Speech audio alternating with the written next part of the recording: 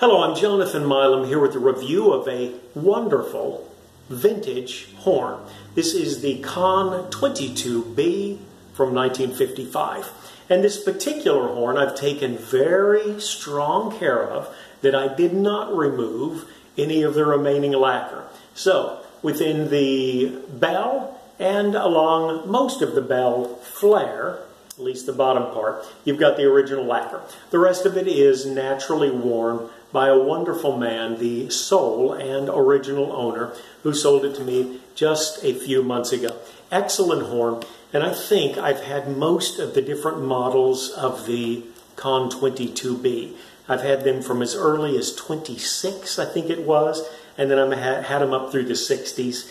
Uh, this one, unusually, has got, I think, perhaps the best compression of any of them that I've had.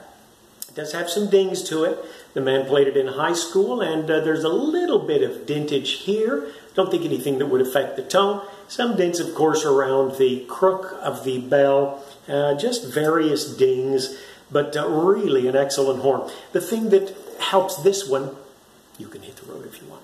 The things that help this one so much is I've got the original case and I've got a Rudy Muck mouthpiece. So you've kind of got the trifecta case, horn, mouthpiece, all from the same area. Strangely enough, I'm going to be playing this horn with a Jet Tone Symphony Model C, which I really, really like. Um, at any rate, nice horn. You've got a little nickel silver in areas that count. Uh, just a little ornamentation there along the slides as well. Very, very pretty, pretty horn. Those of you that have seen my videos before, I love talking about horns. I love having horns, and I've had more than my share.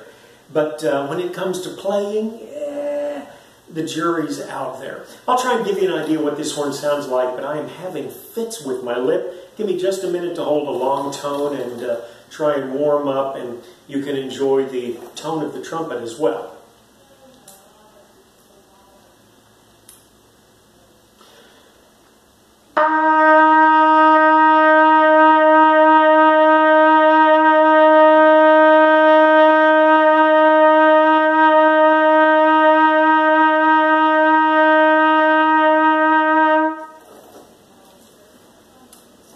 The C scale.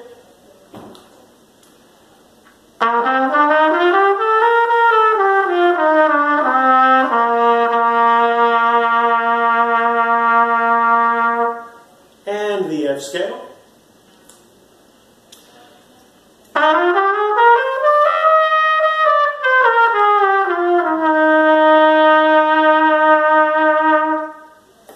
See if anybody recognizes this tune, and I shouldn't tell you what it's from. In fact, I probably won't. Um, and just see if anybody recognizes it. If you weren't born before 1970, you probably won't recognize it. I'll give you that, that little hint there.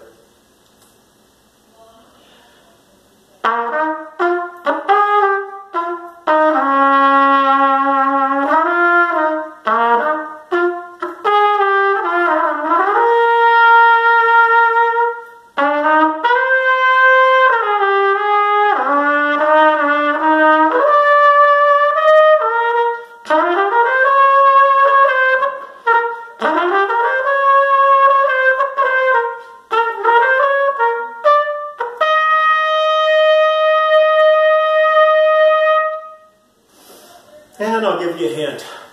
It's from a TV show. All right.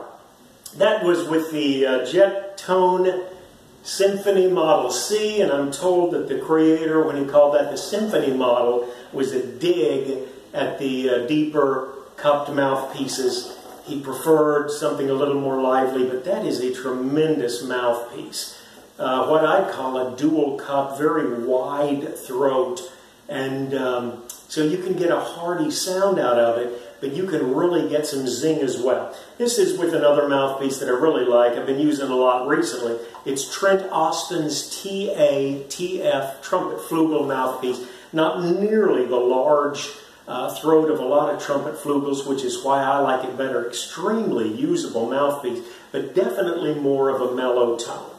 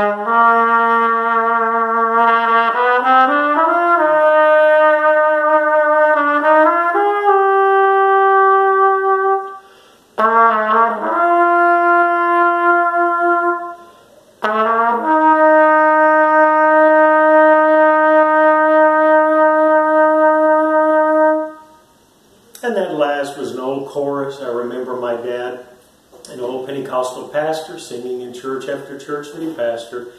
It simply says, I need thee, oh, I need thee. What a prayer. Hope you have a great day, folks. Hope your year is going well, and until our next video rolls around, farewell.